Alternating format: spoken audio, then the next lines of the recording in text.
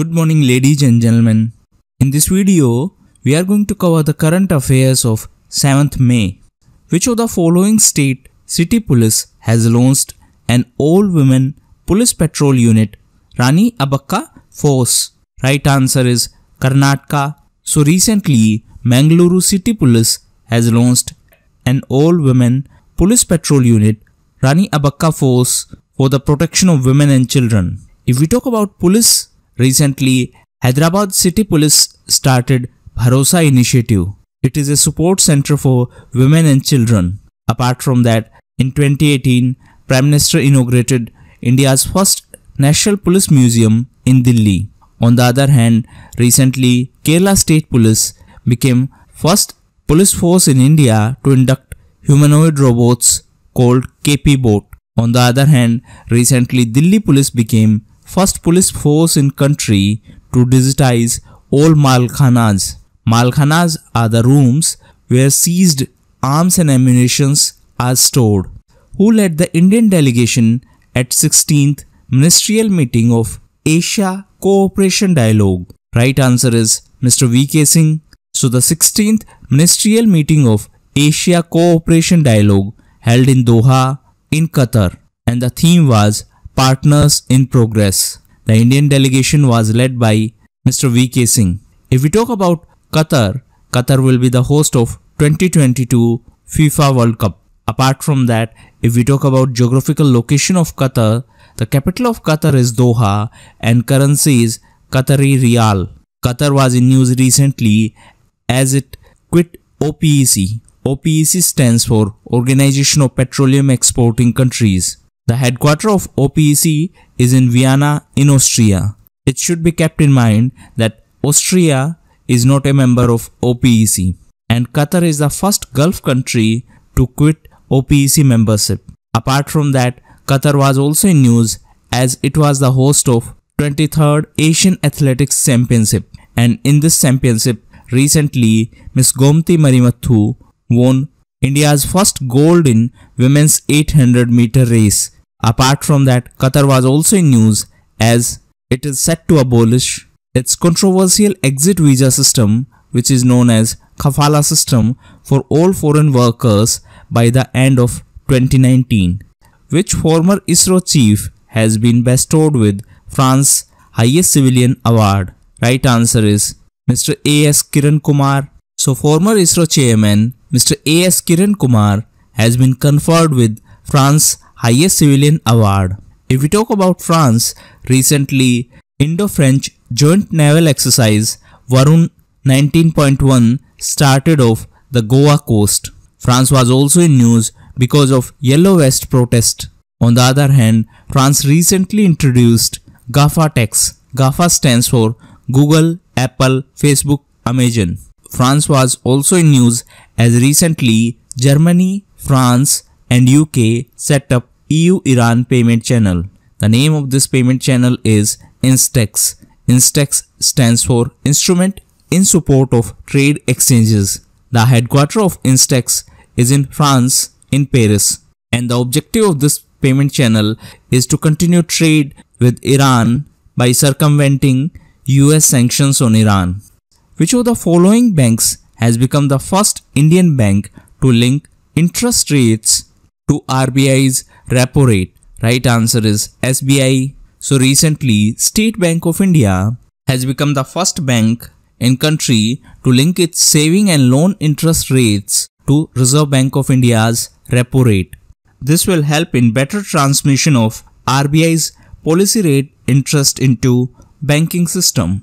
If we talk about SBI, recently SBI signed its first co-origination loan agreement with Paisalo Digital Limited.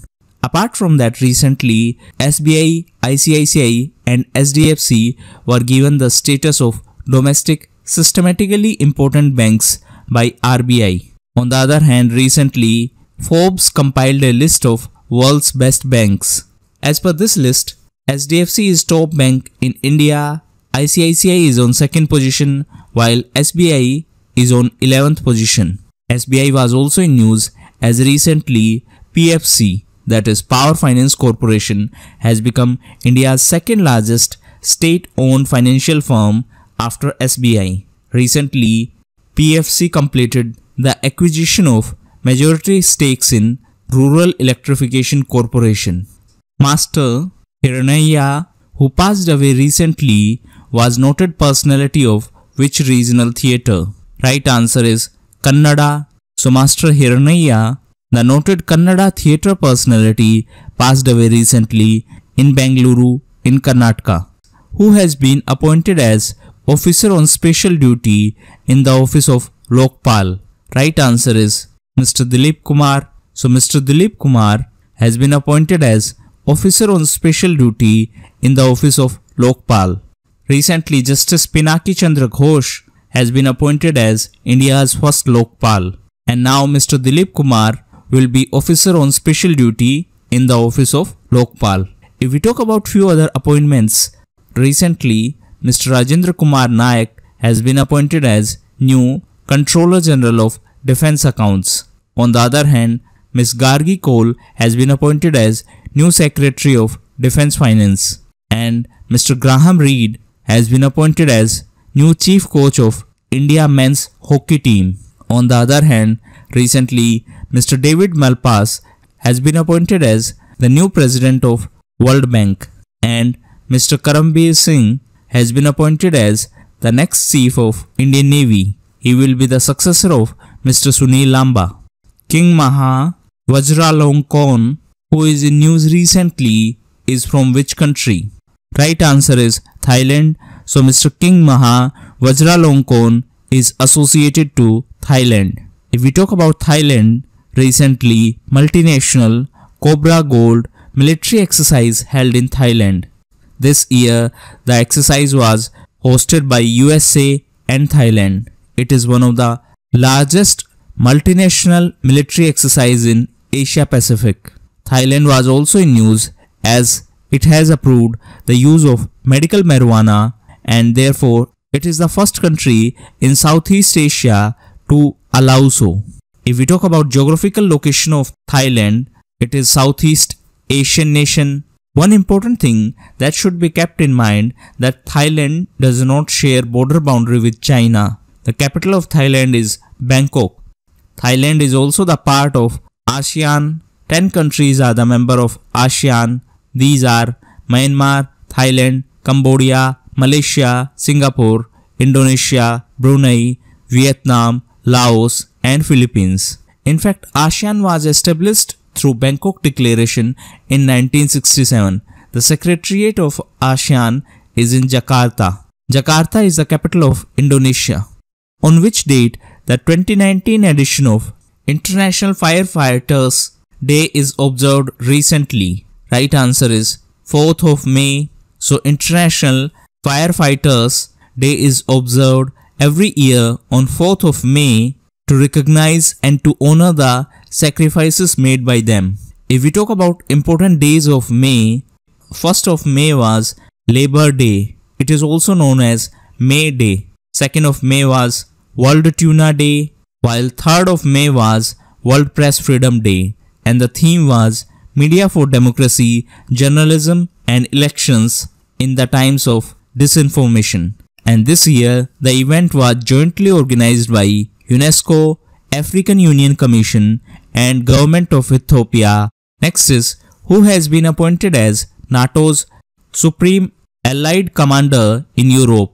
Right answer is Mr. Todd Wolters. So US Air Force General Mr. Todd Wolters has been sworn in as the top military officer of NATO military alliance. If we talk about NATO, NATO stands for North Atlantic Treaty Organization. Recently, Macedonia signed an accord to join NATO to become 30th member. But before that, Macedonia signed an agreement with Greece and agreed to change its name to Republic of North Macedonia. So North Macedonia will formally join the NATO in 2020. NATO was also in news as recently Slovenia became the first NATO state to appoint female army chief. Slovenia appointed Ms. Alenka Armenek as army chief. The headquarters of NATO is in Brussels. In fact, the headquarters of European Union is also in Brussels. If we talk about Brussels, it is the capital of Belgium. In fact, the headquarters of SWIFT is also in Belgium. SWIFT stands for Society for Worldwide Interbank Financial Telecommunication. Recently, SWIFT was in news as Miss Arundhati Bhattacharya became the head of SWIFT India. Which Indian sportswoman has attained the world's number one position in women's 10 meter air rifle event? Right answer is Miss Apurvi Chandela.